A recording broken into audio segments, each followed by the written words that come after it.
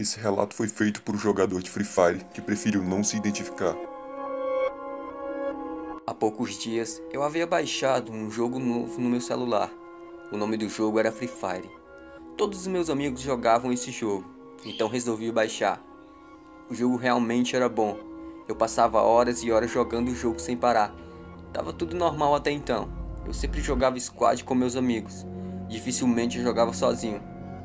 Certo dia, eu tava com uma vontade enorme de jogar, porém meus amigos já tinham todos ido dormir, já que eram 3 e 12 da manhã. Resolvi então jogar uma partida de Free Fire com alguém aleatório, já que o jogo nos dá a liberdade de jogar com pessoas desconhecidas. Começou então a partida até então normal. O lobby tinha outros players circulando normalmente.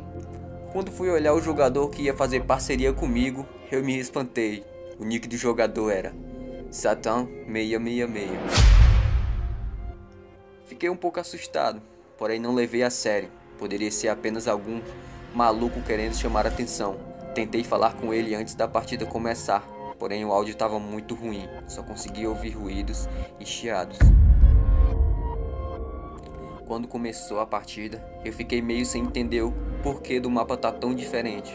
O céu estava vermelho com algumas nuvens pretas e uma neblina avermelhada cobria a parte distante do mapa, mas logo me convenci de que aquilo era apenas mais uma atualização surpresa.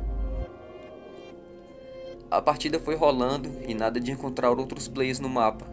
Rodei o mapa inteiro, mas não achei ninguém. Tentei falar com o jogador misterioso mais uma vez, porém não consegui de novo. Só ouvia mais chiados e ruídos. O som chegou a um ponto que eu não conseguia mais ficar com o áudio dele ligado. Foi aí que eu desliguei o áudio dele. E adivinha, os ruídos não pararam. Eu realmente estava começando a ficar assustado. Fui andando, o mapa do jogo e mais coisas estranhas iam acontecendo.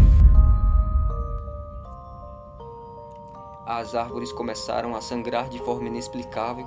Será que eu estava sonhando? Pior que não.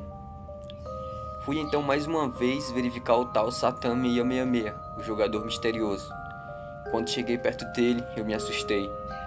Meu personagem congelou na frente dele e eu não consegui fazer nenhuma ação no personagem. Consegui tirar alguns screenshots no momento.